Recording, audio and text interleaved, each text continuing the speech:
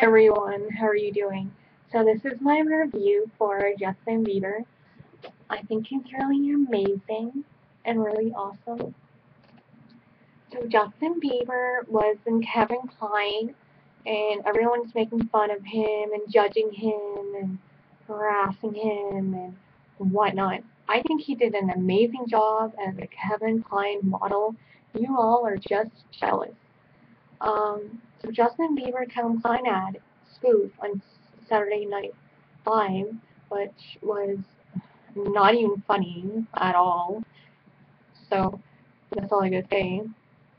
Just a guy running around playing basketball, trying to imitate Justin Bieber, and then a model was trying to imitate Calvin Klein model blonde girl. Overall, I'm gonna give it a two thumbs down. That's not nice that Saturday Night Live is taking it to the next level. Like you're bullying, and that's not good. I feel like they're bullying people and whatnot. I think he did an amazing job. Like a lot of people were criticizing that the photos been photoshopped and stuff like that. Well, I just think the industry of modeling, I think all photos are enhanced and you know slightly altered on purpose because they want to portray a certain image.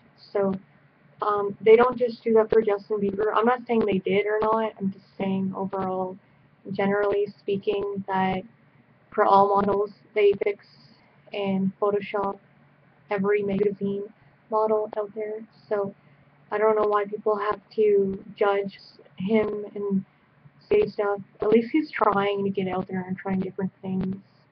Like, what are you doing? Bullying people? Like, that's bullying. People bully people. It's not right at all. Anyways, thanks again for watching. Have a great day. Feel free to leave a comment below. I might not allow comments. Maybe approvals. I don't know. I'll see. Because sometimes people say negative things about Justin Bieber.